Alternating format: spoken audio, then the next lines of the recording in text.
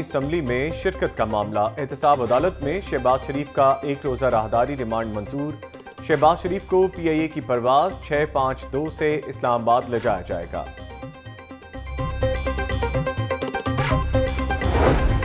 عدالتی بیلف کا سی آئی اے کہنا میں چھاپا۔ دو ملزم پولیس حراست سے بازیاب کروا کر عدالت پیش۔ گرفتاری قانون کے مطابق ہونے پر ملزم دوبارہ پولیس کے حوالے۔ دونوں بھائیوں کو فراڈ کے مقدمے میں پولیس نے حراست میں لیا تھا۔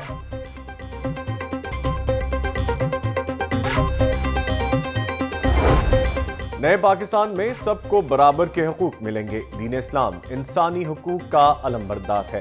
آئین کے تحت تمام شہریوں کو برابر حقوق حاصل ہے وزیر اعلیٰ پنجاب سردار عثمان بزدار کا انسانی حقوق کے تحفظ کے عالمی دن کے موقع پر پیغام۔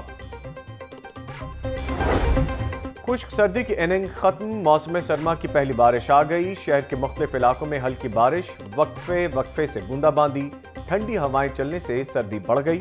ہوا میں نمی کا تناسب ساٹھ فیصد رہے گا۔ کم سے کم درجہ حرارت دس ہوگا۔ بارش کا سلسلہ جاری رہنے کا امکان۔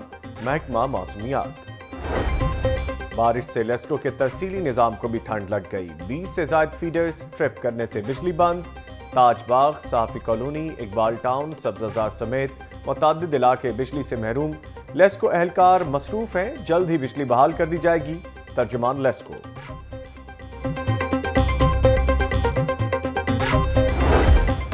پولیو کے قطرے پلاؤ بچوں کو معذوری سے محفوظ بناؤ۔ شہر کی تمام یونین کاؤنسلز میں پولیس پولیو مہم کا آغاز۔